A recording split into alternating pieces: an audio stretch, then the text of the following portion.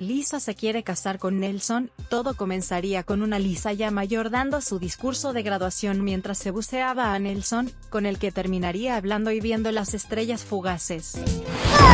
Irían a la casa de Nelson el cual vivía en el campanario el cual por casualidad también es su lugar de trabajo, Bart aparecería para preguntarle a Lisa si aún estaba buscando novio o novia o algo, este se va usando la capa de Harry Potter. ¿Qué? Lisa recordaría todos los movimientos en donde sintió algo por él, al final se termina alejando ya que empieza a imaginarse con él, pero como nunca avanzaría, decide seguir con su vida.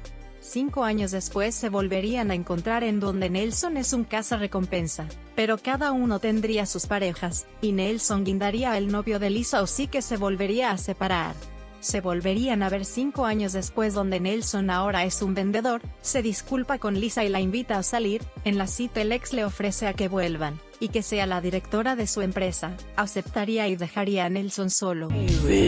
Se encontraría cuatro meses en una boda en donde serían los padrinos y dama de honor, Nelson huye porque no podría estar con ella, pero esta lo sigue y los termina besando. Lo curioso es que Milhouse ahora sería el campanero.